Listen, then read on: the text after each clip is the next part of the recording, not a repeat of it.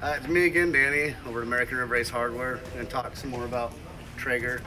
Um, top five items you should start with on a Traeger. Starting with one of the most essentials, the front folding shelf. Uh, we put it on for you um, before we do our free delivery and assembly, of course. So it'll be mounted on the top here, folds out real easy, folds down, put the cover over it. If you're doing ribs, it's essential.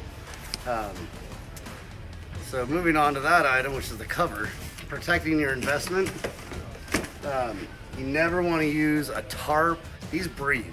They have to breathe and uh, otherwise it's going to cause mold. So you'll notice after a heavy rain when you take the cover off, there might be some damp spots. It's completely normal and it should be that way and it has to be that way for sufficient oxygen to, to travel through. Certainly want to get a cover. You get 15% off any of these accessories when you buy a grill. Um, a less expensive item, uh, if you're familiar with DVQ at all, then you probably know how much she promotes this product and it's one of the best cleaners I've ever used. And it's all natural. You can spray it in your mouth. It's completely safe. It, everyone comes back for more. They they never just get one. Something too clean. Uh, if you're gonna be doing asparagus like parmesan asparagus or salt crusted mini potatoes uh, or even salmon this plate the grill basket is amazing. It works really well, has nice little handles on it, it cools down pretty quick so you can put it on your, your countertop and you can grab it in, in just a few minutes.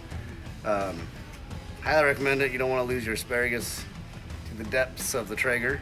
So, although Traegers do come with a meat probe, an instant meat probe such as this one, um, very quick response on heat temp. So this one actually has a, a counter as far as when you check the meat, then you close it up. It'll display one, two, three, it'll go on, so on, so on. So it lets you know how long it's been since you checked your meat. So if you need to check in 10 minutes, it'll let you know, you just hang on to it, go out there in 10 minutes and uh, throw it back in your turkey breast and see where you're at. Very good product. It's by Maverick. They've been making these for, for a long, long time and they've been the leader of them, I'd say, for most all that time. These are my personal recommendations to get started with.